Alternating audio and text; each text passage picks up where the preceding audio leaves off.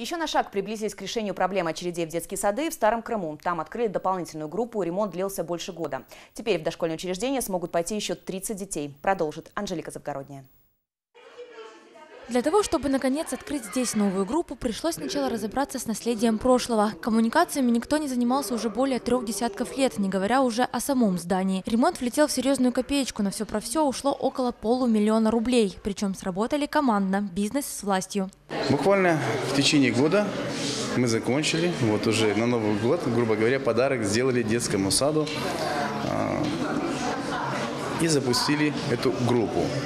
Вот, привлекли инвестиции.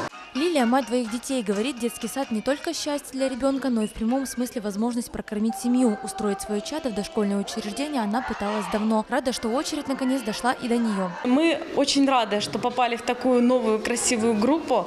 А, очень все красочно, благоустроено. И э, прекрасные воспитатели. Я надеюсь, что мои дети э, будут довольны, счастливы. И тем самым у меня немножко освободится времени для того, чтобы посвятить себя тоже работа, работе. То, что работы у местных властимущих еще не початый край, доказывает сухая статистика. В детсадовской очереди в Старом Крыму сейчас почти 400 детей. В ближайшей задачей здесь обозначили строительство нового, как минимум одного дошкольного учреждения на несколько десятков мест. Анжелика Завгородняя, Дем Семьи Время новостей, Старый Крым.